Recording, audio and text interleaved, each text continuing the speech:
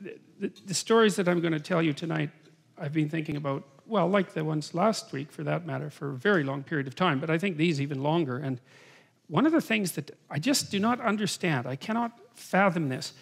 I, I cannot understand how there can be so much information in such tiny little stories, especially the story of Cain and Abel. That story just, every time I read it, it just flattens me because it,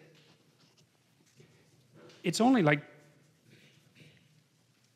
a paragraph long. There's just nothing to it, you know? And I think about it and I think about it and I think about it and I think about it, and every time I think about it, another layer comes out from underneath it, and then another layer comes out from underneath it. And I can't figure that out. Like, you know, the rational approach that I've been describing to you is predicated on the idea that these stories have somehow encapsulated wisdom that we generated interpersonally and behaviorally, and then an image over very vast stretches of time, and then condensed it into very, very dense, articulated words that are then further refined by the act of being re remembered and transmitted and remembered and transmitted and remembered and transmitted over vast stretches of time.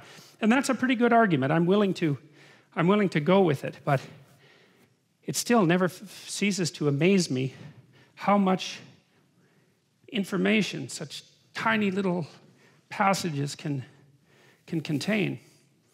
So we'll, we'll take that apart today.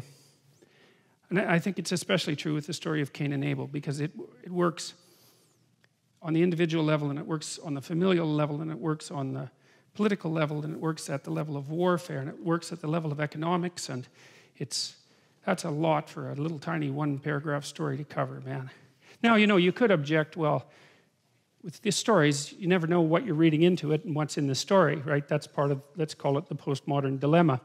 And, and fair enough. And there's really no answer to that any more than there is an answer to how do you know your interpretation of the world is, well, let's not say correct, but sufficient. There's some answer to that. It's, it's sufficient in if you can act it out in the world and other people don't object too much and you don't die and nature doesn't take a bite out of you anymore often than necessary. You know, those are the constraints within which we live. So it, you have some way of determining whether your interpretation is at least functionally successful, and that's, and that's not trivial. And I guess you can say the same thing to the interpretations that might be laid out on these stories. And at the moment, that's probably good enough.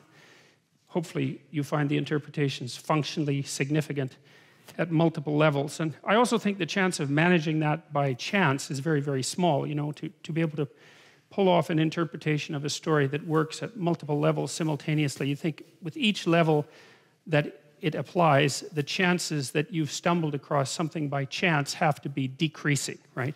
Now, there's a technical term for that in psychology. It's called something like multi method, multi trait uh, method of determining whether or not something is accurate. And the idea is the the more ways that you can measure it and get the same result, the more confident you can be that you're not just deluding yourself with your a priori hypotheses, you know, that, that, there's actually something out there.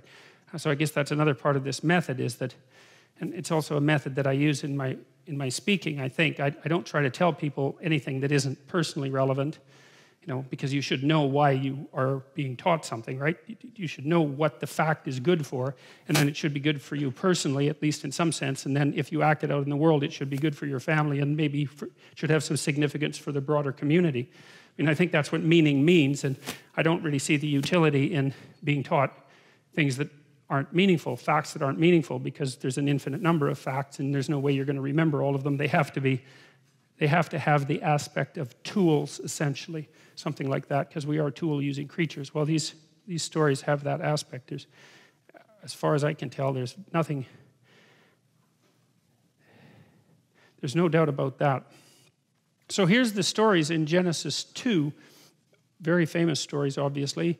Virtually everybody who's even vaguely versed in Western, roughly speaking, Western, um, Western culture knows these stories. And that's something that's interesting too, that stories can be so foundational that everybody shares them. I mean, you can say the same thing about a fairly large handful of fairy tales as well, or you could at least until recently.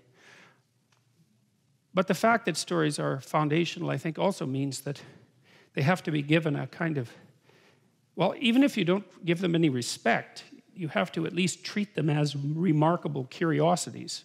So why those stories and, and why did they stick around and why does everybody know them? And it's not self-evident by any stretch of the imagination. And you can use explanations. You can use the Freudian explanation.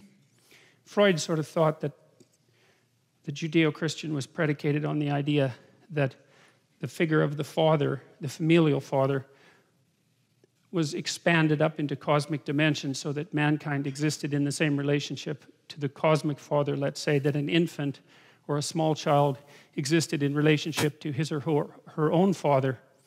And that's a reasonable critique, I would say, to some degree, but it does, and, and, and this was purposeful, it does imply, more than imply in Freud's case, that people who adopt a religious belief that has a personified figure as at its apex are essentially acting out the role of dependent children. And, you know, I thought about that critique for a long time, and believe me, that's been a powerful critique. One of the best books I ever read, called The Denial of Death by Ernest Becker, I think took that line of argumentation.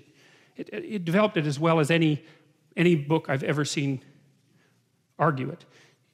Becker tried to bring closure to Freudian psychoanalysis on religion, and he did a pretty wicked job of it. Like, I think the book is seriously flawed and wrong but it's really a great book. Like some books are, well, some books are wrong in really good ways, right? They make a powerful, powerful argument. They really take it to its extreme.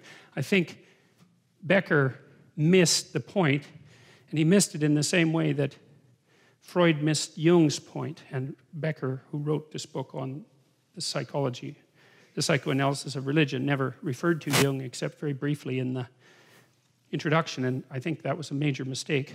But Becker took the argument that the hypothesis of God is nothing but an attempt by human beings to recreate a quasi-infantile state of dependency and to be able to rely on an all-knowing father and to thereby recover the comfort perhaps that we experienced when we were young and had a hypothetically all-knowing father for those of us who were lucky to have someone who vaguely resembled